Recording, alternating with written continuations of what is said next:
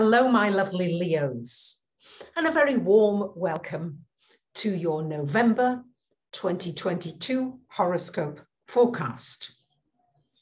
It's getting intense. We are in the eclipse season. We've got a lunar eclipse coming this month. Saturn and Uranus are getting into a very tight square. This has to do with responsibility, practicality, and at the same time, freedom to break out of structures that no longer work for you.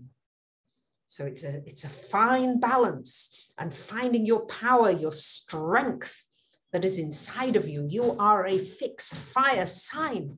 You're one of the strongest signs in the zodiac. And this month gives you the opportunity to really find your power, your spark once again.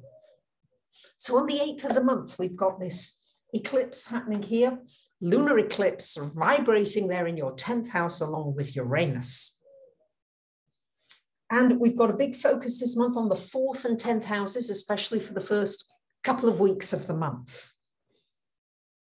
So this is shining a light on finding the balance between your home, what you see as your security, your stability, your family, maybe your soul family, and at the same time, your direction in life. Where are you going? What are you doing?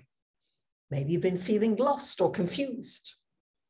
The lunar eclipse may bring something to light that maybe you haven't wanted to see, or it may galvanize you into taking some empowered action and really being the brave lion that you are and roaring and saying, Yes, I can do this. So there may be a new direction in your work or career.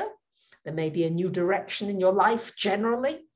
And you say to yourself, well, I'm here on this earth at this time of great transition. What is it that I need to contribute here?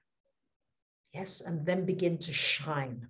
So there's an opportunity really to take off the old things, to dust yourself off, and to really sparkle like a diamond.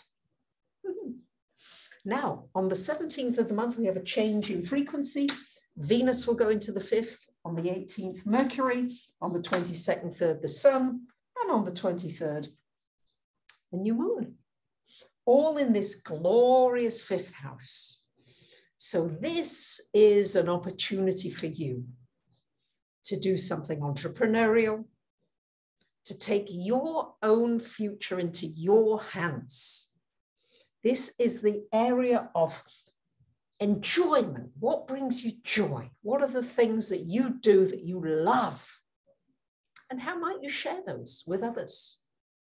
And it's important to remember to have find joy, to find that effervescent, fiery self. And these aspects can help you do it. It's great for romance, it's great for love. It's also great for romancing yourself and doing things that uplift you. That's the important energy. Mars retrograde for you in this 11th house, a few months yet.